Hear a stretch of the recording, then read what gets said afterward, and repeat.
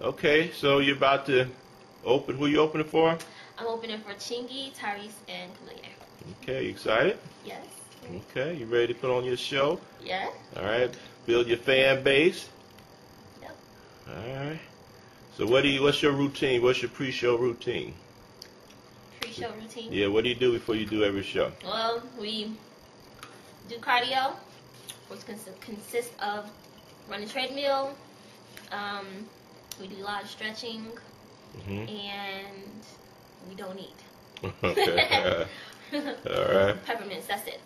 All right. Okay, here we go. Well,